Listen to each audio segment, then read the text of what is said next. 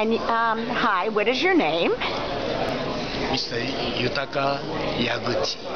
Y- Yutaka Yaguchi. Yaguchi. And where are you from originally? Japan. Japan. Oh, Hiroshima. Hiroshima, the very famous Hiroshima. But you weren't around then, were you? A lot of a lot of things have improved for the Japanese people, right?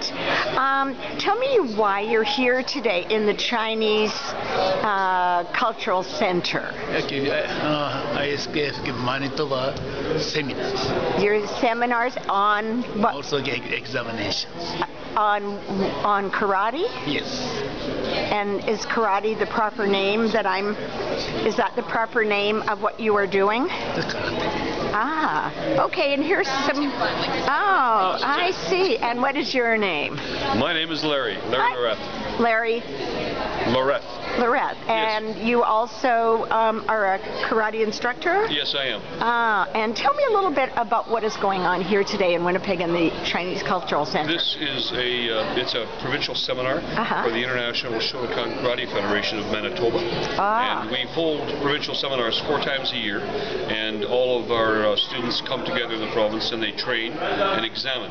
Uh, this this morning uh, there's two hours of training, 10 to 11 is a beginner's class, 11 to 12 is an advanced class, and then from there uh, we have an examination for color. What- Master Yaguchi has come all the way from Denver, and Sensei Yaguchi has been coming here for since over 30 years now.